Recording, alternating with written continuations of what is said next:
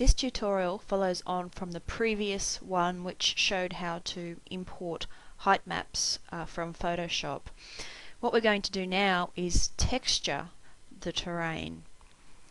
Uh, so let's select the brush tool.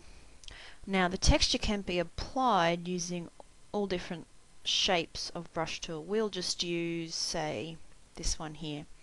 Now in order to paint on the surface you need to have a texture selected. So we add a texture by finding one that's already loaded into Unity. Now the first texture, as you can see there, that you load in becomes the base texture for the entire surface of your terrain. Uh, so I guess select carefully as you go along. You can change that of course. Let's add another texture. Let's add some grass. And let's paint that onto the surface. You can't see that at the moment. There we go. So you can see it's being painted on. Now we're quite a distance from this actual surface, so if we just zoom in a little bit, find somewhere a little closer to the camera you can see what's happening. And it's a round brush so it's going to be round when you see it on the surface. So if you want something that doesn't look so perfect say if we pick this one here then you get sort of blotches of that and then you can blend it in. So let's find another texture. Let's say um, I don't know let's just pick this fire one select it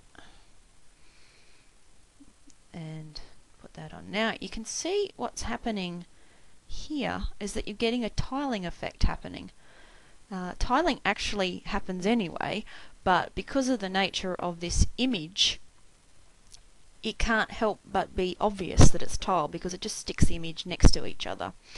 So if we edit this texture, and change the tile size to say thousand. You can see it changing down here.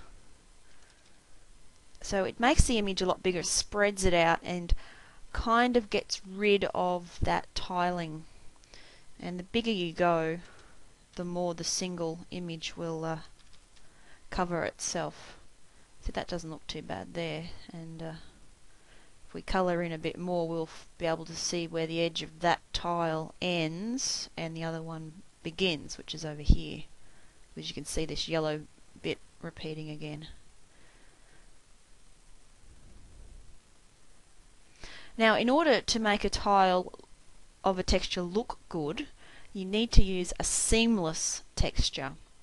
That means that the texture will match itself on all sides so if you put it together in a row it's very hard to tell where uh, each single tile is. If we just have a quick look on the web and let's search for seamless texture on Google. You'll be able to see some examples and they're better if you go into the images. Now this is a great resource for finding textures that fit together. So here it's a nice one. Let's download this one to the desktop and then we can bring that in as an asset and we should be able to use it as a brush on our surface. So here it is loaded. Go back to our terrain, add a texture, there it is there. And then we select that. Let's go back to this uh, round tool now from this distance you can't see that stone effect because we are actually quite high. So uh, just edit that and change the tile size. And now as you paint you can see that you've got a nice seamless texture because it fits together very nicely. Now some seamless textures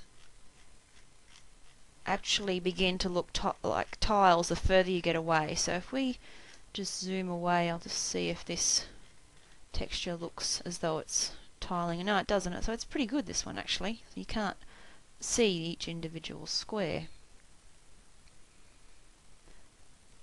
You'll see that as you play games too, is that if you're up high on some elevated mountain and you look down at the textures on the surface of their terrains, uh, you can see where their textures are joining each other.